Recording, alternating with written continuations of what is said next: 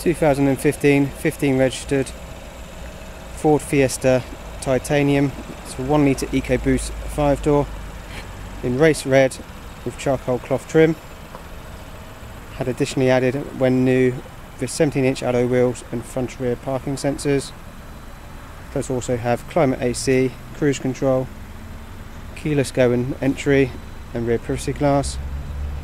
This is a one owner car uh, which is a local owner done 73,000 miles with full service history